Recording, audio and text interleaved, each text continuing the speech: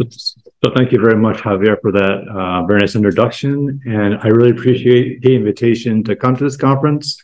Uh, um, I've known about it for several years, uh, and I'm glad to be able to spend some time here with all of you and to uh, to forge more links with the South American uh, society that does patristics. Uh, so I'm thrilled to be here. So I plan to speak for about probably 45 minutes. Um, and that means that I'll be skipping over some parts of the paper uh, because as I practiced it these past few days, I realized it was a bit too long. And, and so, so I really do want to have some kind of feedback and some discussion after the paper. Um, so I hope that parts that, that I'm skipping over are easy to notice in the text above me here. Um, so with that said, Phoebadius of Agen is the earliest of a handful of these lesser known Western theologians who helped articulate a Latin tradition of Trinitarian theology in the second half of the fourth century. So Michel Barnes has called these these theologians the other Latin Nicenes in order to distinguish from from figures like Hilary and Ambrose, because their Trinitarian theologies were shaped in very significant ways by what, what was going on in the East at that time. So these are the Greek currents. Um, only a single writing of Phoebadius um, survives. It's called the Contra Arianos, and that was written against the so-called um, the second Sirmian formula, which I'll abbreviate as the SSF, and, um, and, that was issued by a small gathering of bishops um, in Sirmium in the year 357. So the Phoebadius treatise is commonly dated to to to to to um, late 357 or early 358 that must be the case because it's a prompt response to the SSF. I'm going to skip this next paragraph, which talks about the additions of the text. Um, so, so I will say though that I that I've I looked into French and English scholarship and also German scholarship, but I've not yet explored Spanish or Italian scholarship. So if anybody knows anything Phoebadius in Spanish or Italian, I would love to hear about it. Um, so the, all those writers who Barnes considers the other Latin Nicenes, um, uh, like are not only explicitly sympathetic to the Council of Nicaea, but they also endorse these these um, three key Latin doctrines now, these three Latin doctrines are both inherited from earlier third century Latin writers like Tertullian, and they also appear in a Western creed of Serdica in the year three, um, 343. So, what are these three doctrines? So, the, the, the first is the appeal to John 14 10, I'm in the Father, and the Father is in me, in order to support the uh, co-eternity of the Father and Son. The second doctrine is the viewing of divine power as the principle of unity between the Father and Son. And then third is the spirit Christology, wherein the divine element of Jesus is identified as a spirit. Uh, and all three of these key three Latin doctrines are found in Phoebadius. Uh, and, uh, and, so what I'm going to do today is to explore how Phoebadius actually uses these three key doctrines. So I actually have time to only discuss the first two, so, so, I'm not going to talk much about the spirit Christology. Uh, so the, in themselves, like these doctrines are not necessarily Nicene because they actually predate the Council of Nicaea, and they're found in the third century authors like Tertullian, Novatian, and, and others. So what I want to do is I want to analyze how Phoebadius kind of uh, um, redeploys and he repurposes these these um, traditional anti-monarchian Latin doctrines in order to ex- express an anti-Arian Nicene doctrine of God. He's making a big, a big, big, big transposition, as it were. Um, Sense Phoebadius is the earliest of the other Latin Nicenes. It's his articulation of Nicene theology which marks the birth of Latin Nicene theology. So that's the claim that I'm making in this paper here. So, so, so the first section, substance. Um, Phoebadius considered the SSF to be a deceptive attempt to reassert Arianism. And the opening paragraph of, of the Contra Arianos reveals that the treatise is as much a repudiation of the Arian heresy in the SSF as it is an attempt to reestablish the true Catholic faith. So, what is the, the true Catholic faith according to Phoebadius? Well, so, so he identifies as the Nicene faith. So this is done at a number of points in the treatise, but the most clear indication of this is in the statement that the Nicene Creed is, quote, the perfect rule of the Catholic faith, end quote. now, in spite of his identification of the Catholic faith and the Nicene faith, in the treatise, he actually rarely mentions the Nicene Creed and he never appeals to its famous phrases and its key terms like homoousios in his theological arguments. So for Phoebadius, it is possible to express the Nicene faith without quoting or, or even appealing to the Creed of Nicaea itself. So the one can speculate about the reasons for this sort of a mythology. but I think that we should not expect him to have a direct recourse to the Nicene Creed because at this early stage in the development of the pro-Nicene um, um, um, Trinitarian theology, it did not yet have that function. So, in this very period, in the 350s, the very idea of the purpose and the function of creeds was evolving. Uh, so, the, for the earliest Latin Nicene theologians, um, fidelity to Nicaea meant actually something other than a, def- a defense of the of the creed or an exposition of its articles. That comes much later in the fourth century. So the, I'm arguing here that being faithful to Nicaea means an insistence upon the use of the term substance in Trinitarian theology. In a recent essay, Michel Barnes has argued that the most important contribution of the Nicene Creed was this turn to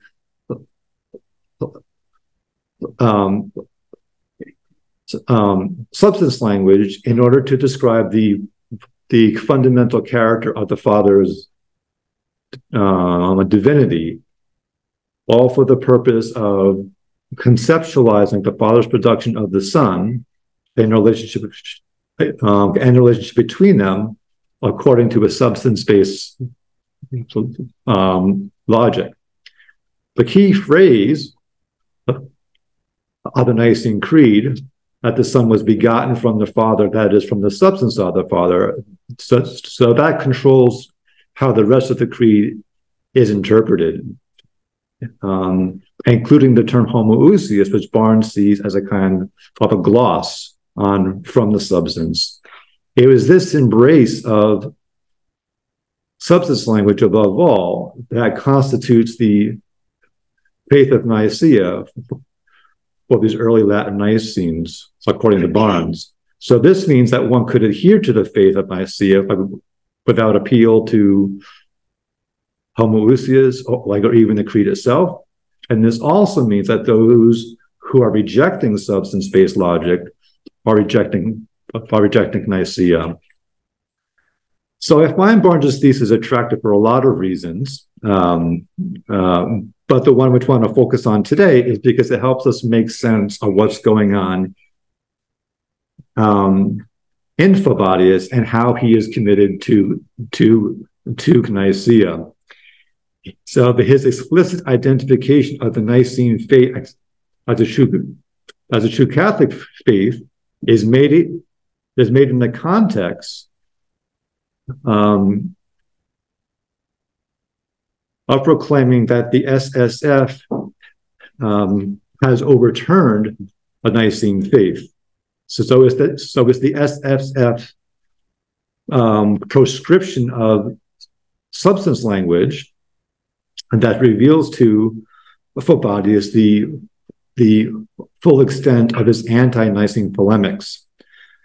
Um, equates the prohibition of the substance language with an attack on the Nicene faith itself. So the for Phoebadius, conceptualizing the relationship between the Father and the Son according to a substance-based logic is what it means to be Nicene. So let's look at some text here. So, so, so it's helpful to begin with how Phoebadius understands the SSF's um, proscription of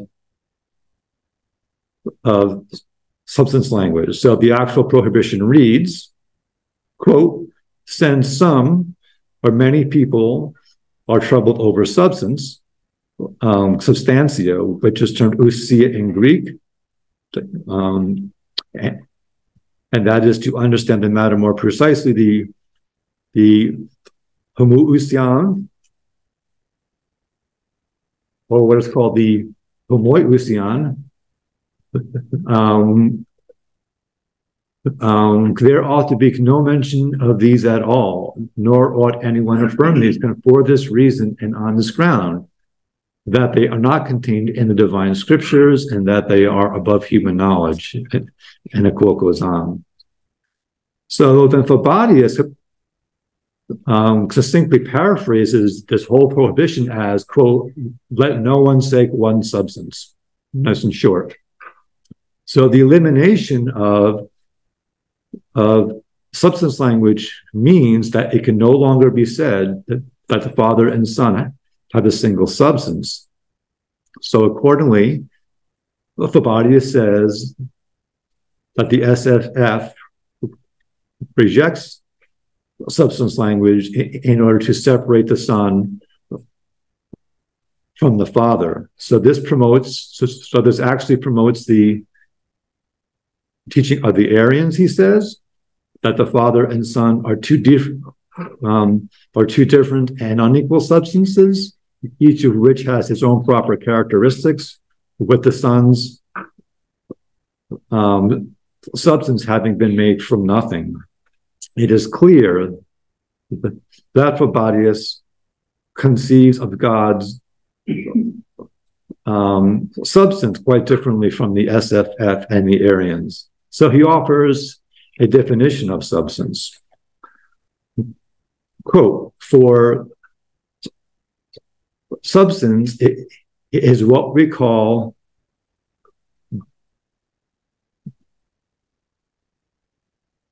that which always exists on its own.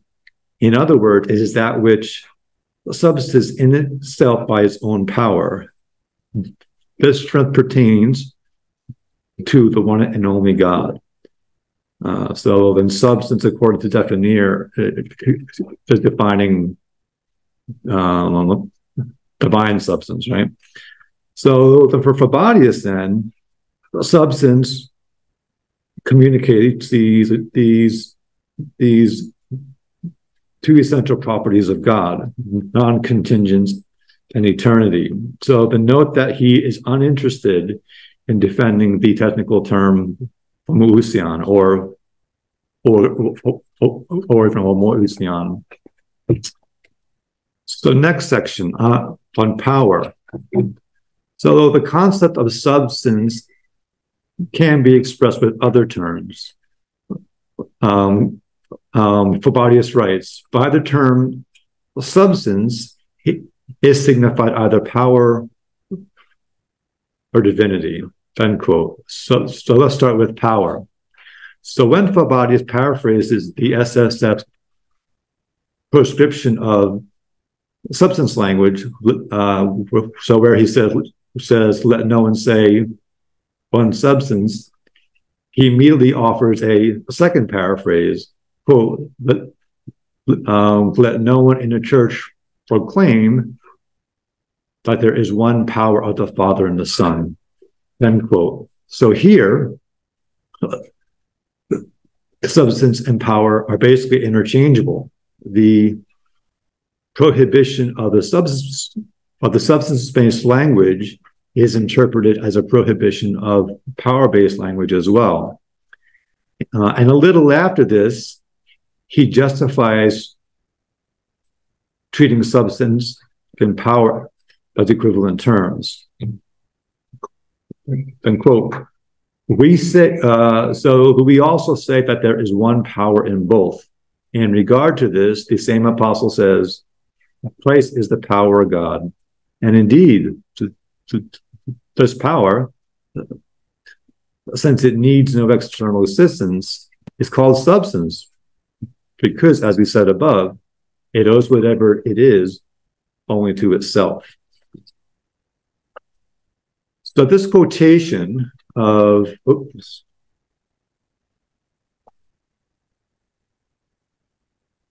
So the Phoebadius roots the claim that the Father and Son share a single substance and power in First Corinthians 1.24, so where Paul calls Christ the power of God. So this quotation not only provides the scriptural basis for the use of power language, but, but it furthermore implies that the SSF's prohibition actually contradicts scripture. In any event, the conceptual synonymy of power and substance seems even further indicated by his definition of power, so which is essentially the same as definition of substance. So his definition of substance was, um, oh, yeah, sorry, this is definition of power. This power, since it needs no external assistance, is called substance because, as we said above, it owes whatever it is only to itself. So, like substance, power also conveys also conveys um, um, um, um, um, non-contingency.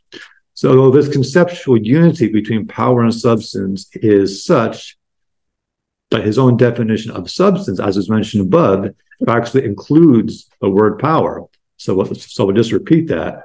So then substance is that which always exists on its own.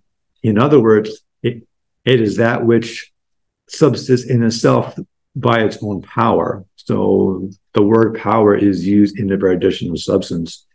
So, so the few scholars like who have studied Phoebadius have noted the oddness of his inability to, like, to make a really clear distinction between substance and power.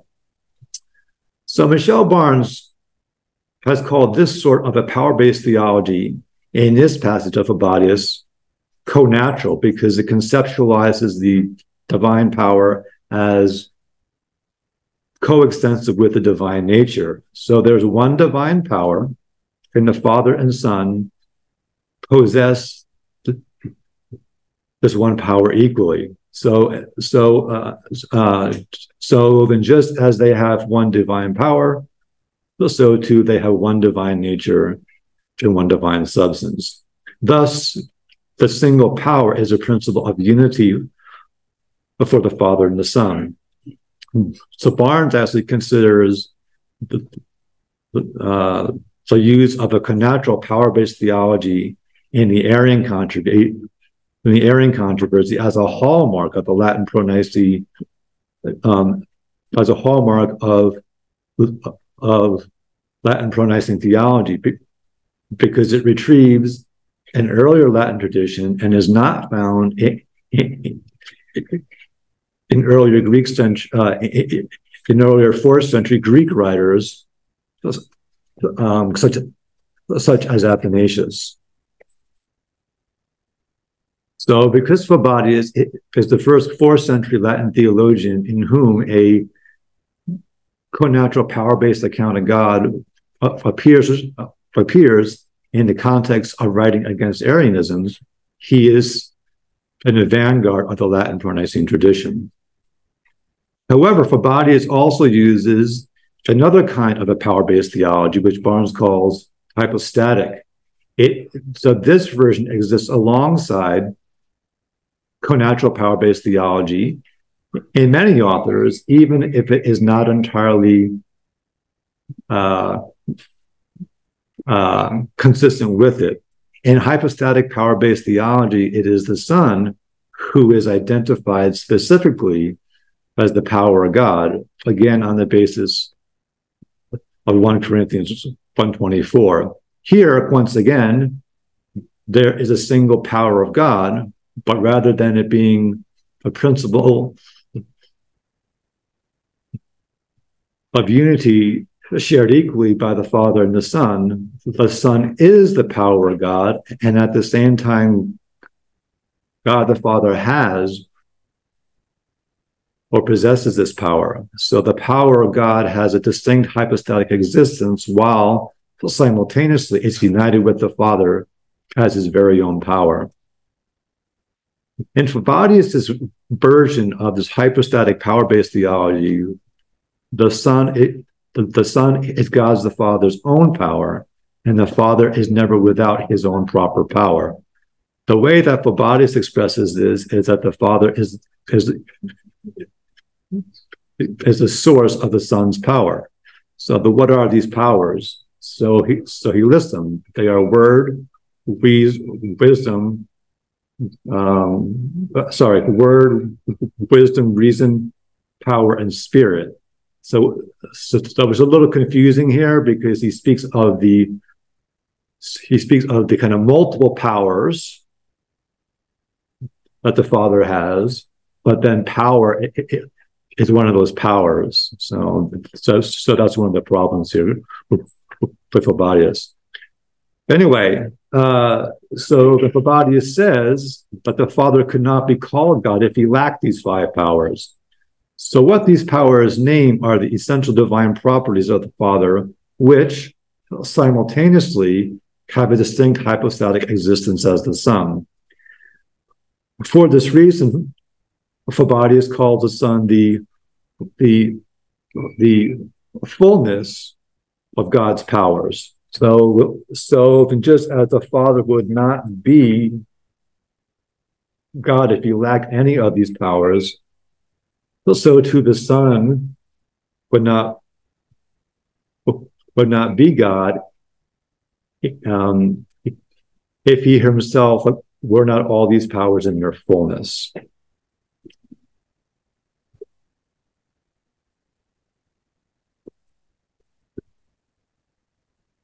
Okay, I'm going to skip down to the, the next section on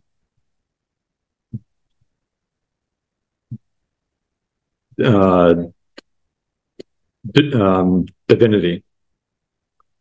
So the other term that is equivalent to, to substance, according to Phoebadius, is divinity. Saying that, quote,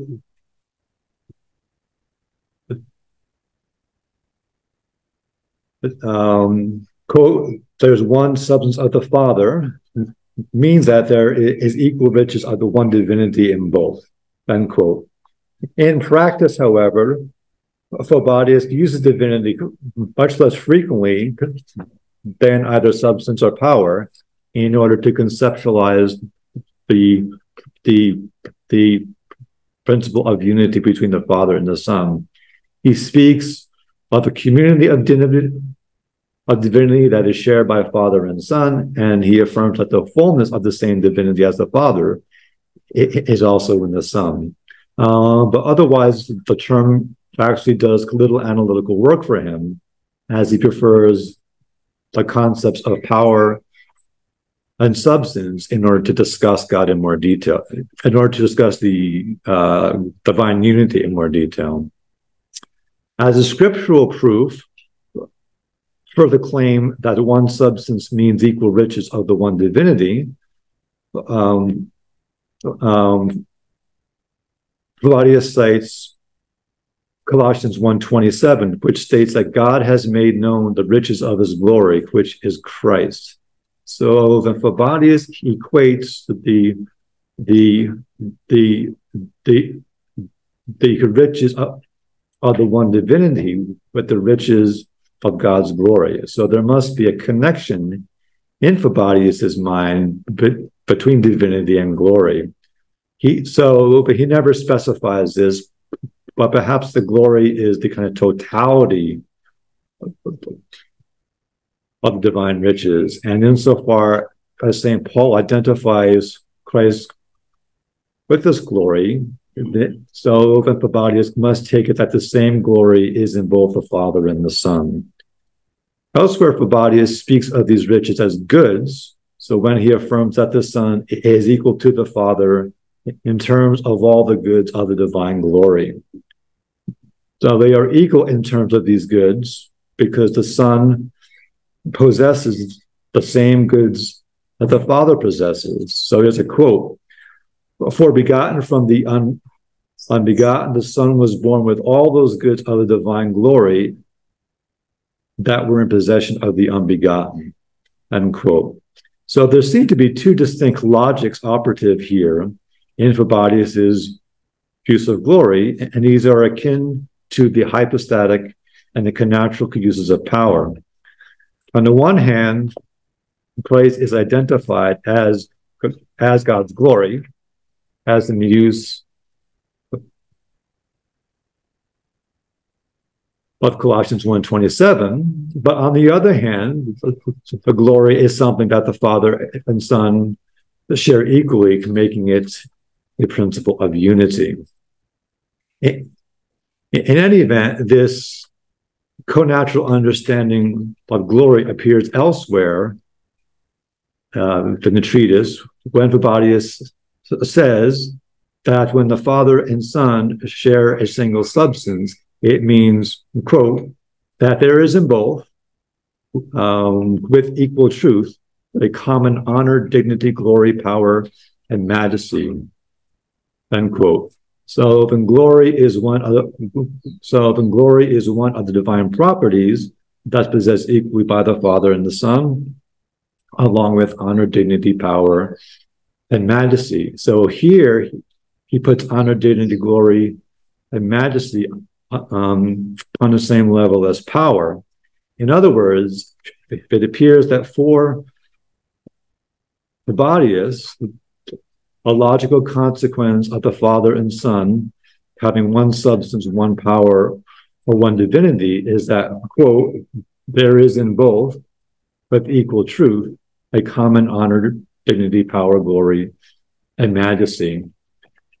Actually, for Phoebadius does not speak much of dignity as something that the Father and Son share, but honor, glory, and majesty each play a prominent role um, in his account of divine unity. So this is due at least in part to the fact that the SSF had interpreted John 1428 the Father is greater than I, as meaning that the Father was greater than the Son in, quote, in honor, dignity, glory, majesty, and in the very name of Father, end quote. So the Fabadio, Phoebadius treats honor, dignity, glory, and, and majesty uh, um, as roughly synonymous for example, he refused he refused the SS's claim that the Father is, uh, is greater than the Son in honor, glory, dignity, and majesty by quotation of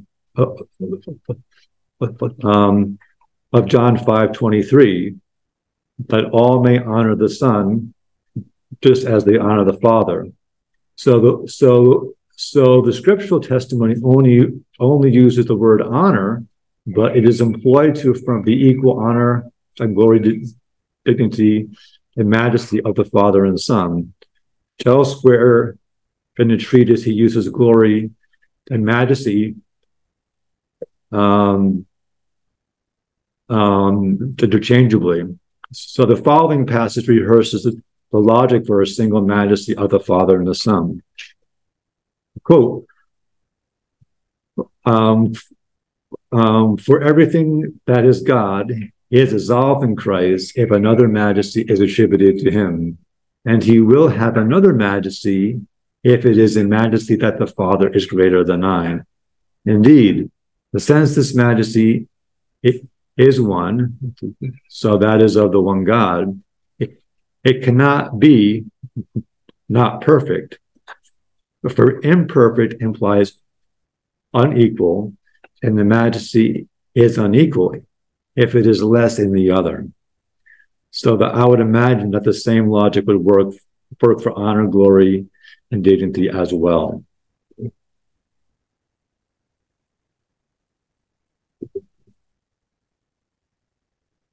Okay, so next section on divine perfection. So the above quotation reveals how the concept of,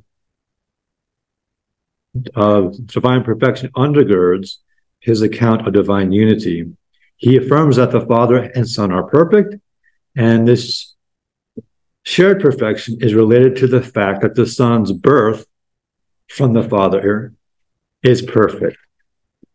So he writes, quote, even though he was born, the Son is not imperfect since he was born from the, from the perfect one, nor was the one who begot him could diminish since he begot him from his very self. For whole gave whole, so that in the power of the Spirit, there might be whole in whole. So, end quote. So, if a Phoebadius understands divine perfection as as not lacking anything that God ought to possess, or or as being complete and whole according to what it means to be God the Father or God the Son. So this understanding of divine perfection is laid out elsewhere when Phoebadius explains that the Father could not be called the Father if he lacked his powers that were mentioned before. So the namely word, wisdom, reason, power, and spirit he begins, quote, um, for not only God, who is perfect in his eternity, but indeed not even any creature would, would continue to exist if it were incomplete according to its own kind. Um, for it cannot be what it is if that does not exist, and it will not be, be what it is if it lacks what it ought to be. So that last sentence, you really got to get your mind around that one. um, so the here Phoebadius supplies a general definition of perfection. So, so, so, so existing as a perfect thing means being complete and whole and not lacking anything according to what it means to be that entity. So the same definition holds for God. God only exists as God because God is complete and lacks nothing of what God ought to be. So the Phoebadius continues, quote, therefore the Father lacks the whole of anything, if anything from that whole is lacking. And the Father lacks something from that whole if his own Son, that is the fullness of his powers, um, does not lack a beginning. So end quote. So, so the here Phoebadius is countering the implication in the SSF that the Son has a beginning. So that would mean that there was a point when the beginningless Father lacked the Son. But this is impossible because the perfect Father cannot lack anything of the whole that defines what it means for Father to be Father. And an integral part of that whole is the always existing Son. So then what follows Phoebadius spells out the consequences of the Son not existing at some point.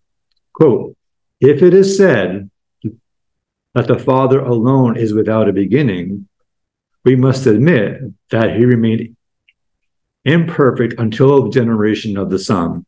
For he is imperfect if he begins to have what he did not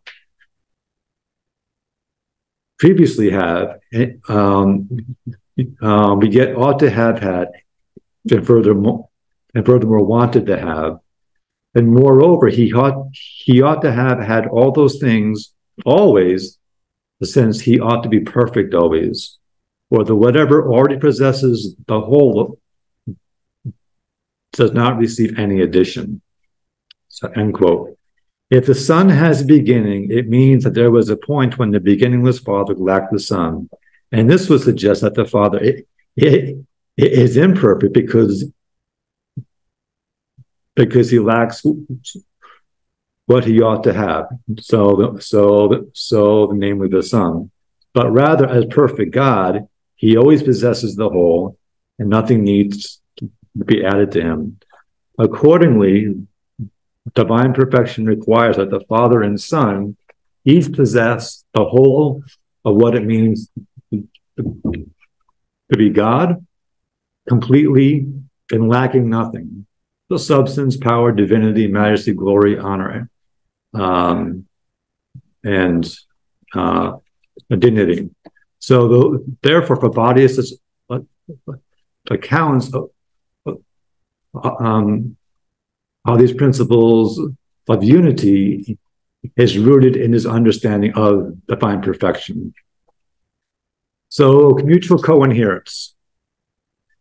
As I mentioned above, the shared divine perfection of the Father and Son is related to the Son's perfect birth from the Father. According to Phoebadius, the perfect birth means that the Son is not only from the Father, but also in the Father. In other words, Phoebadius thinks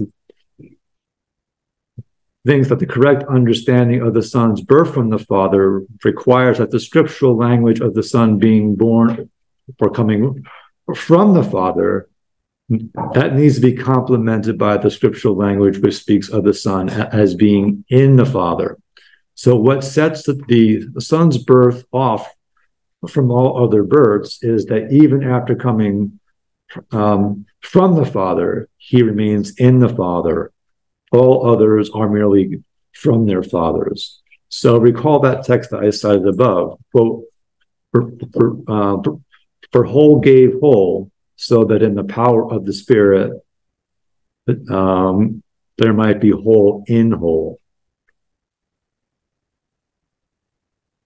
Um, Phoebadius thinks that when the Arian authors of the SSF use, use the creedal expressions God from God, light from light, that they, quote, make another God from God, another light from light, in such a way that the Son is, is from the Father, but is not in the Father. In, in other words, he is made um, um, from God, but but, not the only begotten in God. Thus, when using this, this creedal expression, quote, through, um, through heretical argumentation, the Arians teach that the Son is separate from the Father and been cut off from him completely. So then therefore affirming that the Son is not only from God, but also in God, avoids all the implications of the Arian interpretation. But the perfect birth means not only that the Son is in the Father, but also that the Father is in the Son, as John 10, verses 9 to 10, and other verses affirm. The consequence of such language, according to Phoebadius, is that it is, quote, it's impossible for the Son not to have a whole of what belongs to the Father, since the whole of himself is in the Father. End quote. Elsewhere he writes, quote, um, for that was um, for that which was from him could not have been outside of him. End quote. So the following passage like demonstrates how closely connected in Phoebadius' his mind are are um, um, divine perfection and the mutual and the mutual coherence of the Father and Son. Quote. But um, the writers of the SSF say that the Father is greater than the Son, but not in terms of that difference by which the Father is greater than the Son, but in terms of all the goods of the divine glory. If the Son is lesser in terms of these goods, he cannot be considered worthy of being in the Father. Um, since the Father's eternal blessedness admits nothing into his very own self, except that which is proper to God. And now nothing is proper to God, to save that which is full and complete. Then again, the Father cannot be, not be considered worthy of, of being in the Son, who is incapable of containing the whole of him.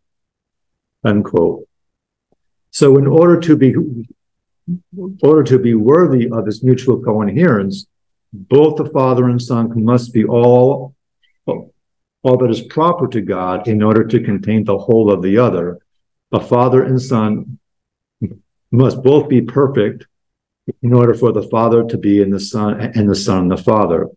So, so at the end of the Contra Arianos, um, Phoebadius offers a summary of the Nicene faith, which shows the central place that the mutual coherence of the Father and Son have in his theology of God. Quote, Therefore, we must hold fast, as we said, to that rule that confesses that the Son is in the Father and the Father in the Son. That rule, uh, that rule that preserves the the the, the uh, one substance in two persons and acknowledges the arrangement that the divinity has. Accordingly, then, the Father is God and the Son is God because God the Son is in the Father. Ultimately, is is the Son's being in the Father and the Father in the Son that is the ground of his teaching that there is one substance, one power, and one divinity in the Father and in the Son. So this so this concept of the mutual coherence um, seems to function as a kind of a fundamental concept or premise from his, all of his other teachings about God are derived as logical consequences. So that this may be the case is shown twice in the treatise. Uh, when Phoebadius explicitly positions his Nicene theology God as a middle position that avoids the extremes of Sabellianism and Arianism. So this becomes a hallmark of the pro-Nicene tradition in the East and West. But this is the first time that a Latin that, that a Latin theologian um, does this. So, so, and this is another and this is another indication that Phoebadius is in the vanguard of the of the pro-Nicene movement. The first instance of this middle positioning cites John 14 10 as proof that he does not teach, quote, as Sabellius did, that the Father and the Son are one person, nor as Arius did, that they are two substances, end quote. In the second instance comes from just before the summary of the Nicene faith that I just cited above, which exploits John 14 10 even though his catchphrase for summarizing the Nicene faith is is one substance and two persons, as John as John fourteen ten is the foundation on which he builds in order to get to that position. Even if it is not the case that John fourteen ten and and and also mutual coherence um, play the central role that I have assigned them here, it is clear that it's clear that his affirmation of one substance, one power, uh, and, um, and one divinity, and, um, one honor, glory, and majesty, shared equally and eternally by the Father and Son, is intimately connected with his understanding of divine perfection um, and the mutual coherence of the Father and the Son. Conclusion. So the concept of substance may have served for Phoebadius as a kind of point of, of entry before articulating his doctrine of God, but it by no means like captures everything that he wants wants to say. Other concepts, such as power, better better enable him to engage in the analytical work of explicating the unity of the Father and Son. But Phoebadius has adopted anti-monarchic theological concepts that were developed by Tertullian and others in the third century, and he's adopted adapted them to function in a fourth century Nicene anti-Arian context. Now, this, so this adaptation is not without its problems, such as the presence side by side of, of these two different kind of power-based theologies. Um, and his defense of the Nicene faith ignores the wording of the Nicene Creed, uh, even as it insists on the category of substance in his account of divine unity. But then he has these synonymous concepts of, of power, and divinity. Um, so, so it's not a seamless Nicene system, but and such is the birth of Latin Nicene theology. Thank you.